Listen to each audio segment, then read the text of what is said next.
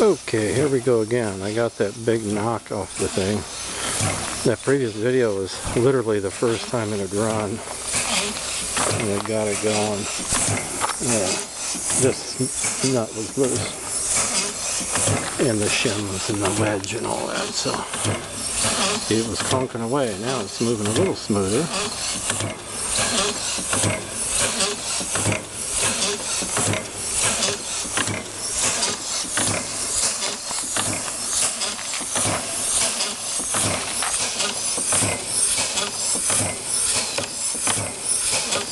A little bit of extra motion going on in that.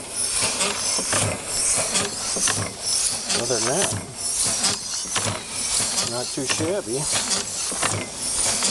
A little cleaning up and uh, modification to get the boiler going. Be great to get this thing running on steam. Anyway, there you go.